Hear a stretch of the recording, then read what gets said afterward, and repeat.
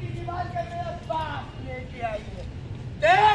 है काली आई है भवानी सरकार लेने आई आज के तक खत्म करने आई है अपनी सरकार राजनीति नहीं सिंहासन चलेगी देख नवाज़ आया है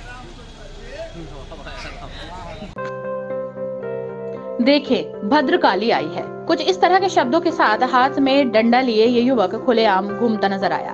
वहीं जिस किसी ने भी इस शख्स को देखा, वो भौचक्का रह गया।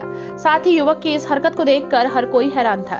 आपके भी मन में सवाल उठ रहा होगा, आखिर क्यों ये इस तरह से कर रहा है? आप, आपको बता दें कि ये तस्वीर कलेक्ट्रेट परिसर से आई है, जहाँ कलेक्ट्रेट परिसर में घुसे इस युवक ने जमकर हंगामा काटा। कलेक्ट्रेट परिसर में अचानक एक युवक हाथ में डंडा लेकर घुस गया और हंगामा करने लगा।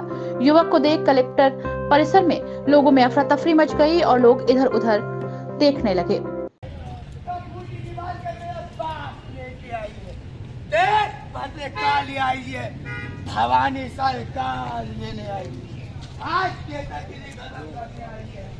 अपनी सरकार, राजनीति नहीं, सिंहासन चलेगी।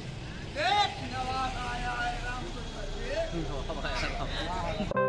साथ ही बड़ा सवाल उठता है कि पुलिस कर्मियों की मौजूदगी में ये सब होता रहा, लेकिन किसी ने भी उस युवक को रोकने की कोशिश तक नहीं की। साथ ही उसकी इस हरकत से कोई घटना घट जाती तो उसका जिम्मेदार कौन होता?